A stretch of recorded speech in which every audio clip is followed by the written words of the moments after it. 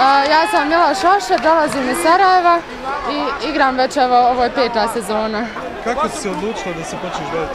Pa uvijek sam voljela klizat, ono, tata me naučio da kližem i od tada sam, onaj, samo jednostavno sam pokušala sa drugaricama i svidjelo nam se. Zato što to samo nema, nema udaraca, to nije ono razlika odnosno muški hokej, a samo je klizanje i tehnika.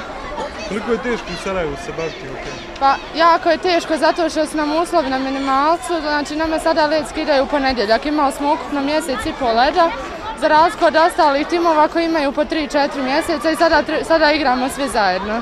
A ovaj današnji dan, što znači to za vas? Pa nama ovo puno znači zato što je ovo prva prilika da upoznamo, upoznamo cure iz regiona, znači imamo zajedničke interese i veoma je rijetko da se cure uopće počinju baviti ovim, velika je čast upoznati, upoznati takve djevojke. I evo samo za kraj, što bi poručila djevojčicama koji će možda gledati ovaj prilog i poželjeti da se bavaju Pozvala bih sve da počnu trenirati, ako ništa da probaju, zato što ja vjerujem da će im se svidjeti kao što se meni svidjelo. Ja sam Ana Marija Antić, dolazim iz Siska, igram za hokejski klub Sisciju. kako si odlučila da se počneš baviti A kako sam odlučila? Pa jako sam, od uvijek sam bila s dečkima iz kvarta i svi su igrali hokej, onda sam morala i ja. E, e, imam obitelj sa e, dva sina i muž, svi oni igraju hokej od male škole do veterana i onda sam se ja uključila jer sam stano na ledu s njima i ovoga, samim tim volim taj sport.